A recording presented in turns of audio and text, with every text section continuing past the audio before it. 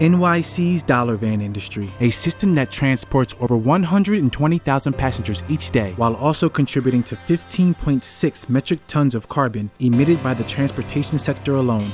Because of this, we created a coalition of charging, energy, and social impact organizations and devised a plan to deploy a clean transportation service. Here's how. Today, 2 million New Yorkers live in transit deserts. These are entire communities that endure transit related barriers to jobs, resources, and healthier lifestyles. NYC's Dollar Van Network is the largest, most active informal transit network in the US, and they primarily serve these disadvantaged communities. Electrifying urban transit means providing New York City's already vast network of dollar van drivers with access to electric vehicles.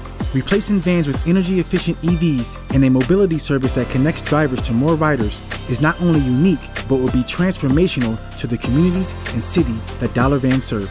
Success will be measured through our mobile app, which tracks ridership, vehicle miles traveled, and calculates greenhouse gas emission reductions as a result of the service.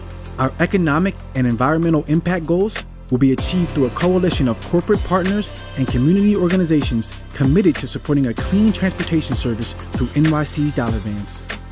So there it is clean, efficient, and electric urban transit with Dollaride.